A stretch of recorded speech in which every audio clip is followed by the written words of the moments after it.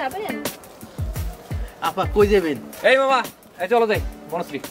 এই আপনি কে হ্যাঁ? দেখতেছেন না আমি কথা বলতেছি? তো কি হয়েছে মনে আপনি রিক্সাটা কিনে নিছেন। এই মামা চলো তো। ভাড়া বাড়াই দেবনি চলো।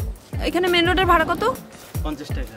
পঞ্চাশ টাকা আমি আপনাকে একশো টাকা দিব চলেন আপনি। একশো টাকা দেবে এই মামা এই আমি তোমার পাঁচশো টাকা দিব চলো। মামা আমি তোমাকে এক হাজার টাকা দিব চলো তো তাড়াতাড়ি চলো। এই মামা তোমার আমি দুই হাজার টাকা দিব চলো।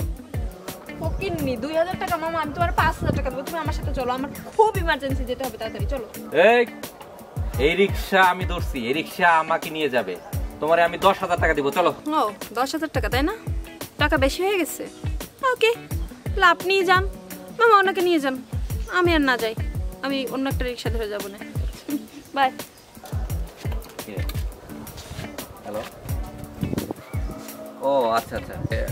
আমি আসতেছি এখনই আসতেছি। আচ্ছা ঠিক আছে। এই মামা, ওই আমার একটু সমস্যা গেছে, আমার যা হচ্ছে না, এই নাও তোমার টাকাটা। আরে নাও না, তোমার ভাড়া, তুমি ভাড়া নিবা না, তোমার ভাড়া ঠিক করছি। ঠিক আছে।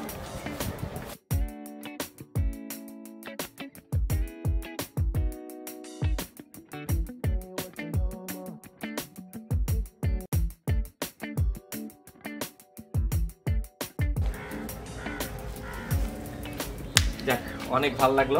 সকাল সকাল একটা ভালো কাজ করলাম আজকে সারাটা দিন অনেক ভালো কাটবে। একদমই। ওনার হাসিটা জাস্ট আমি যতবারই ভাবতেছি ওর ততবারই ভালো লাগতেছে। কি সুন্দর একটা হাসি দিয়ে গেল দেখছ তুমি? খুব ভালো লাগছে। আচ্ছা চলো যাই। আরে আপনারা? একটু আগে দেখলাম দুইজন মিলে ঝগড়া করতেছেন।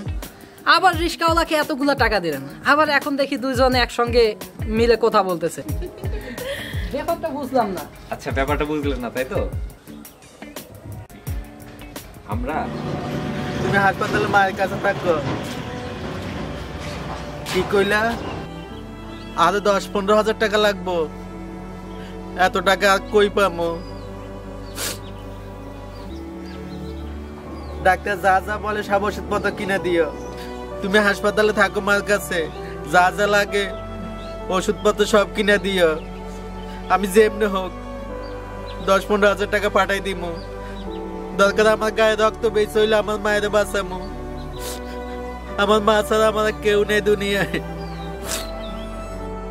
দেখছ শুভ লোকটা কীভাবে তার মায়ের জন্য কান্নাকাটি করতেছে? কেউ যখন আমার সামনে তার মায়ের জন্য এভাবে কান্নাকাটি করে আমার খুব খারাপ লাগে। হ্যাঁ ওনার মা মনে হয় হসপিটালে কথা শুনে তো তাই মনে হলো। আচ্ছা কি করা যায় বলো তো? কিছু তো একটা করতে হবে। এখন প্ল্যান করো। আমরা যদি এখান থেকে সরাসরি ওনাকে টাকা দিতে যাই আমার মনে হয় না যে উনি টাকাটা নিবে। তার চেয়ে আমরা অন্য কোনো ওয়েতে আমরা ওনাকে হেল্প করি। চলো। কি করা যায়? তোমার কাছে কত টাকা আছে? আমার কাছে চার পাঁচ হাজার হবে। আচ্ছা আমার কাছে যা আছে তাতে দশ হাজার টাকা হবে। শোনো তাহলে আমরা এক কাজ করি।